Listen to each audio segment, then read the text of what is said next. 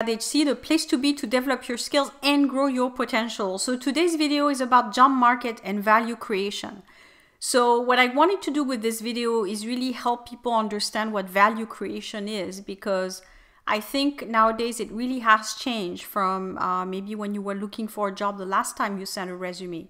I mean, we used to look at jobs by, you know, looking at titles and see, okay, I'm an accountant, so I'll just look at uh, putting accountant on my resume or I'm a marketing specialist, so I just put marketing specialist.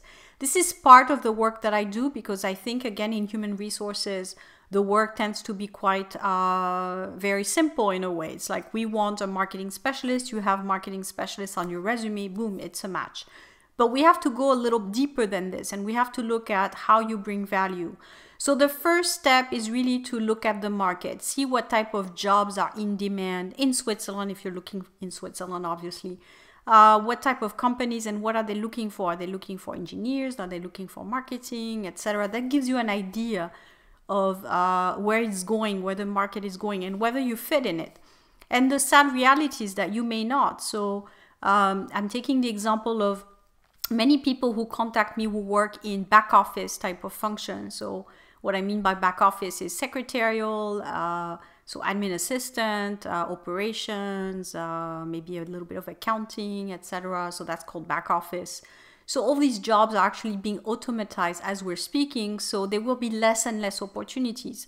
I think there's still to some extent some some work there because a lot of companies uh, are not really up there yet, so they still need to some extent those back office functions, but uh, you will find that uh, it's not where the market is going, meaning that in 10 years, 15 years, it's probably going to be obsolete, you know, and you will need to work in a different field.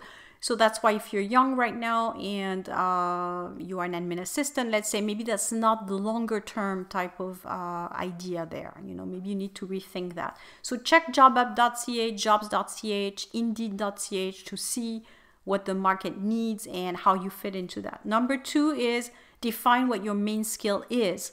Most people don't even know this. They they've just had jobs but they don't really know what they're good at. So that's why the skills assessment might be a good idea because you can actually work on yourself, work on, you know, where you should target as well. And you don't waste time because if you're each time you're sending a resume to uh, uh, irrelevant uh, company for a job, not that the company is irrelevant, but for a job that's not going to be a good match for you, uh, it's time wasted. So the sooner you know exactly what you're looking for and how you bring value with your skill, the sooner you can find a job. Number three, how do you match the two? How do you match uh, the market with your skill set? So that's really an art. You know, it's really knowing how to communicate. You have to do it on your uh, cover letter, on your resume, and then during the interview again. So there's a a path really to get the job. It's not so much as I send a resume and I get a job. It's, you know, you need to understand the market, you need to understand what value you have in comparison with the competition, you know, and, and really go at it as a project, which I've said many times before in my video.